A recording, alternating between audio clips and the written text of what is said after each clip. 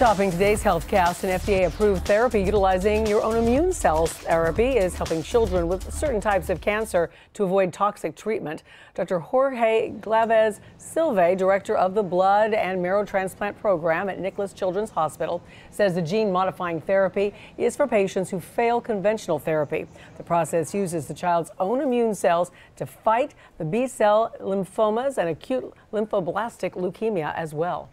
We have seen a response rate up to 80% in the very first three months of this. So, uh, so just to imagine that those type of therapies give the ability and the hope to the families who before they didn't have a hope and now they have 80% chances of being on remission and being cured from this. Prior to proceed to a stem cell transplantation, uh, it's, it's great. It's great and it's, it's, it's just a good thing to see.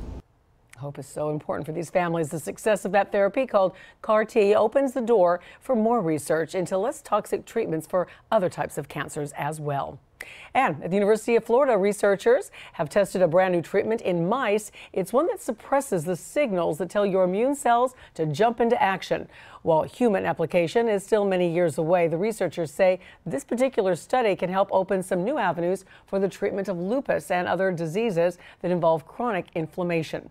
Of course, lupus is an autoimmune disease where the body's own tissues are under attack by the immune system, leading to chronic and painful inflammation.